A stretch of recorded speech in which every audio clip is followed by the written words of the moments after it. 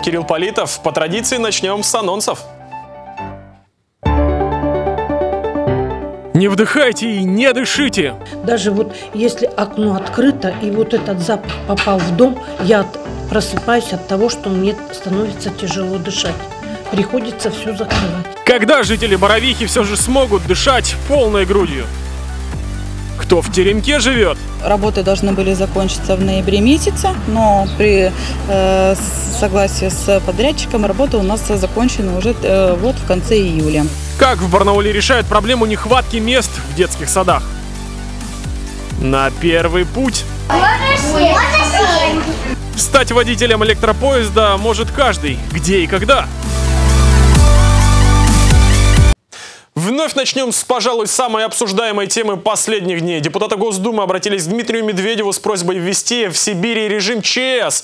В Красноярском крае и Иркутской области вот уже более двух недель горит лес. Площадь пожара достигает полтора миллиона гектаров. Министерство лесного хозяйства Красноярского края считает, что тушить огонь, цитата, экономически невыгодно. К действиям перейдут, когда пожар начнет угрожать населенным пунктам.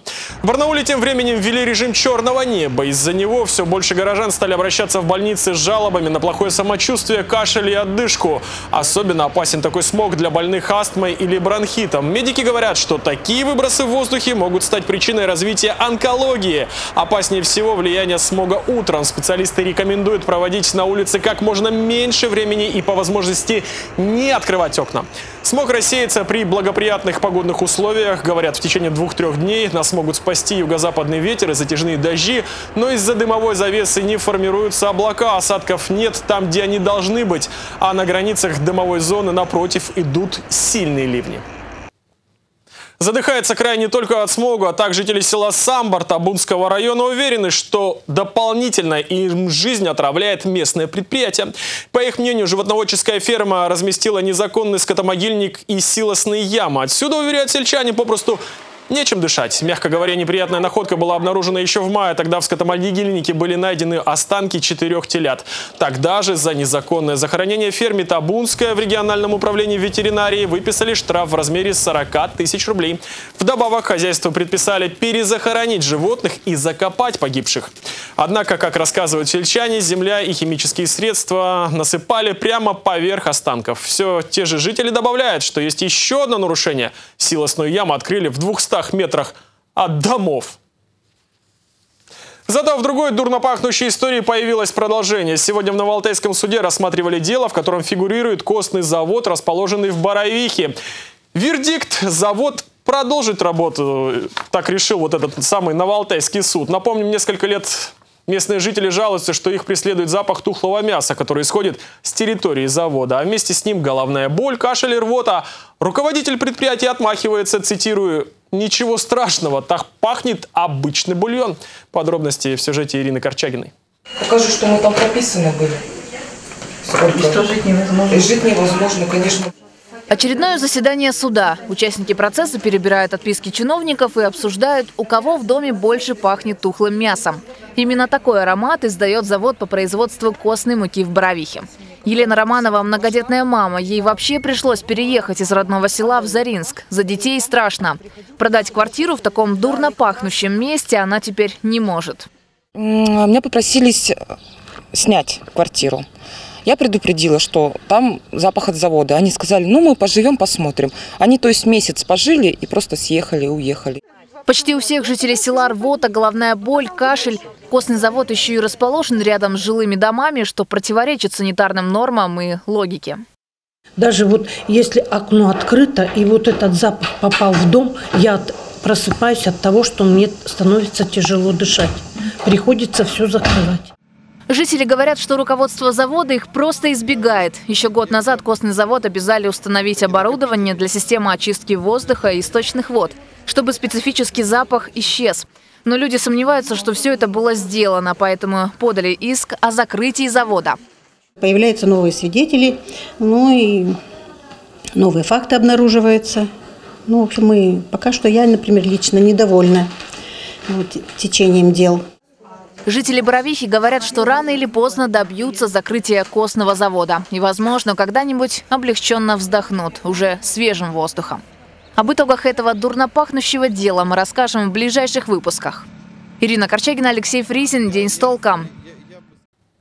Барнаульцев сплотили десятибальные пробки. Вот уже второй день добраться до нужной точки маршрута порой ну просто невозможно. Причина для краевой столицы банальная. Работа по перекладке сетей. Накануне частично перекрыли движение на улице Аванесова. Там водоканал модернизирует коллектор. Старую железобетонную трубу более 200 метров в длину заменит на полиэтиленовую со сроком службы 50 лет. Вообще у нас в этом году этих работ в плане не было, но поскольку Змеиногорский тракт улица Аванесова попала в городскую программу «Безопасные и качественные дороги», и здесь будет уложен новый асфальт, глава города Сергей Иванович Дугин дал нам поручение отремонтировать все участки, которые в ближайшие годы могут потребовать ремонта, с тем, чтобы уже не нарушать дорожное покрытие. Большой котлован копать не будут. Подрядчик работает методом горизонтально направленного бурения. По словам генерального директора Барнаульского отделения Росводоканала Дмитрия Масловского, прокладку трубы планируют закончить к 25 августа. После дорожники начнут укладывать новый асфальт. Стоимость модернизации коллектора, по данным Росводоканала, 11 миллионов рублей. Напомним, сейчас подобные работы ведутся на проспектах Ленина, Калинина, Комсомольском, улицах Водопроводной, Попова и других. Вот отсюда и пробки. Ясельных мест в барнаульских детских садах станет больше. А в краевой столице капитально отремонтировали детский сад «Теремок». 1 сентября туда придут почти 100 дошколят, в том числе и дети до трех лет. Как преобразился детский сад и когда закроется проблема нехватки мест в дошкольных учреждениях края, знает Валентина Аскерова. Долгое время здание детского сада на улице 9 мая арендовал Институт труда и права. Но в связи с нехваткой мест дошкольные учреждения власти решили здание вернуть. На реконструкцию из бюджета края направили почти 12 миллионов рублей. Кстати, как только здание начали ремонтировать, родители тут же выстроились в очередь. Мы одни из первых стоим в этот детский сад, но так как нам всего год, мы еще по возрасту не подходим для детского сада, потому что с полутора лет раз, дают путевки. Вот. Но мы думаем, что в следующий год мы, конечно же, попадем, потому что мы одни из первых. Пол с подогревом в ясельной группе, новая мебель, игровая зона, спортивная площадка и качественная система безопасности. За полгода детский сад полностью преобразился. Уже через месяц сюда придут 96 малышей, 40 из которых дети от полутора до трех лет. Работы должны были закончиться в ноябре месяце, но при э, согласии с подрядчиком работа у нас закончена уже э, вот в конце июля. Э, благоустройство территории, но еще оно не закончено, еще будет завезен грунт, э, посадка газона, чтобы для детей все это было безопасно.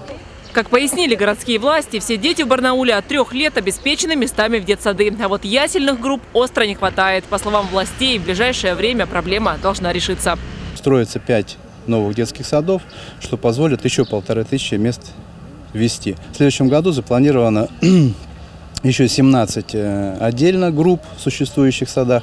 И тем самым э, за три года мы выходим на показатель э, где-то 3 1700 дополнительных, что позволит нам в полном объеме решить проблему до трех лет.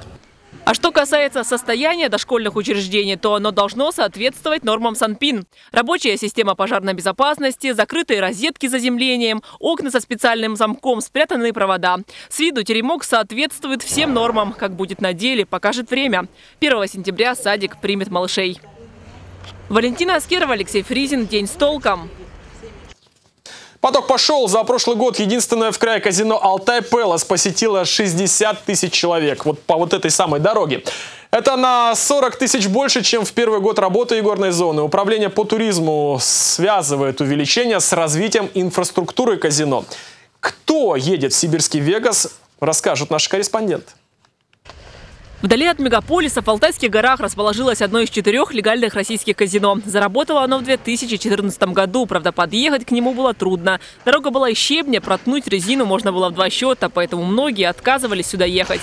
Тогда за год это место посетило всего 20 тысяч туристов. Количество посетителей начало расти лишь в прошлом году, когда была построена подъездная дорога. На эти цели краевые власти направили свыше 100 миллионов рублей. Поток пошел благодаря этой дороге. Это, конечно, большой, колоссальный плюс. Сейчас не могу привести э, э, сказать, статистику за 2019 год, потому что только полгода прошло, да. Но у нас э, в прошлом году наш комплекс посетило э, порядка 60 тысяч человек целом же за прошлый год комплекс «Сибирская монета» по данным Краевого управления по туризму посетило почти 140 тысяч человек. К слову, у краевых властей к горной зоне интерес повышенный, ведь на ее развитие было направлено свыше полутора миллиардов рублей. А налоговые отчисления в бюджет края за все четыре года работы составили пока всего 272 миллиона. И когда инвестиции окупятся, неизвестно. В казино говорят, что один из способов увеличить прибыль – привлекать иностранцев. На данный момент мы проводим работу с э, московскими туроператорами по привлечению гостей из э, Китая, Тайвань, потому что уже первые группы из Китая мы планируем э, привести уже этой осенью. В планах у краевой администрации также подключить комплекс к электричеству. Сейчас он работает на дизельных генераторах и в дальнейшем расширять игорную зону, чтобы сибирский «Вегас» все-таки мог серьезно конкурировать с другими игорными домами страны и, наконец, окупился. Валентина Аскерова, Александр Антропов. День с толком.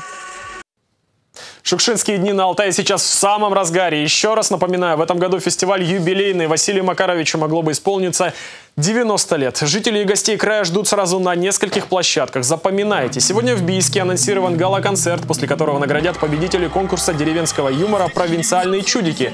А также на бульваре Петра Первого покажут конкурсные фильмы программы короткого метра. Кроме того, в Сросках на родине писателя, режиссера и актера пройдет фестиваль сценического воплощения шукшинской прозы «Характеры». Завтра в Сросках запланированы песенный фестиваль, мастер-классы, экскурсии по памятным шукшинским местам. В 16 часов начнется торжественная церемония закрытия шукшинских дней на Алтае. Назовут имена победителей кинофестиваля, лауреата литературной премии. Завершит программу концерт Марины Девятовой и шоу балета «Ярденс». Почувствовать себя настоящим машинистом электровоза, узнать о том, как строили железную дорогу во время Великой Отечественной, а также полюбоваться миниатюрными моделями поездов могли сегодня жители Барнаула. На перроне ЖД вокзала весь день стоял особый поезд, выставочно-лекционный. Илья Кочетков посетил его. Э, вагон рассчитан на 64 пассажира. Э, эти вагоны начали курсировать по территории нашей страны с 1 ноября 2013 года в составе поезда номер 104-103 сообщением Москва-Адлер. Такие двухэтажные вагоны уже возят пассажиров на юге России, но жители Сибири их могут пока увидеть только с помощью такой передвижной выставки. Поезд начал свой путь 8 лет назад и с тех пор, по словам его работников, колесит по стране почти не останавливаясь. За бортом остались миллионы километров и не меньше, наверное, населенных пунктов. Организаторы говорят, интерес неизменно большой, Барнаул не исключение. Вы видите по людям за моей спиной, здесь уже да, действительно ажиотаж. Я думаю, около полутора-двух тысяч э, сегодня посетит Барнауле. В среднем от 800 до 1200 человек. Что не вагоны, их всего 9, то отдельная отрасль или эпоха. Здесь и современные поезда, и железнодорожные службы в космической отрасли. Что касается взрослых посетителей, они считают особо важными исторические отделы, посвященные Великой Отечественной, строительству БАМа. Потому что сейчас все теряется, все история как-то маленько перестраивается, все переделывается. Дети уже так сильно знать ничего не будут наши, что как было раньше. Поэтому, чтобы дети маленько знали историю. Ну а самим ребятам неизменно нравятся отделы, где можно посидеть, поуправлять. Например, вот такие тренажеры. Подождите, надо спрашивать. Спрашивать. Завтра поезд прибудет в Бийск, а далее проследует обратно в Москву. И после небольшой стоянки снова отправится по городам и весям. Илья Кочетков, Александр Антропов. День с толком. Зачем соблюдать ПДД, какие предупреждающие знаки существуют и как правильно переходить дорогу? В микрорайоне Янтарный в очередной раз прошла акция «Осторожно, дети», нацеленная на детскую безопасность. Организатором выступила управляющая компания «Взлетная» при финансовой поддержке компании «Импорт Лифт Сервис». Эксперименты, познавательные игры и вкусные угощения. В атмосфере праздника и веселья детям рассказали о правилах дорожного движения. В молодом микрорайоне проживает много семей, некоторым уже в этом году идти в первый класс, поэтому рассказывать о ПДД малышам просто необходимо, уверенная управляющая компания «Взлетная», которая, к слову, и организовала акцию. Праздник проводится уже второй раз для того, чтобы дети в непринужденной обстановке закрепили жизненно необходимые правила. Поддержала акцию компания «Импорт Лифт Сервис», которая, кстати, тоже отвечает за безопасность безопасность движения, только не на дороге, а в лифте. На празднике детей также угостили сладкой ватой, из-за которой выстроилась огромная очередь лимонадом. Берегите себя через несколько секунд о погоде. Спонсор прогноза компания «Валар». У меня к этому часу все новости. До встречи.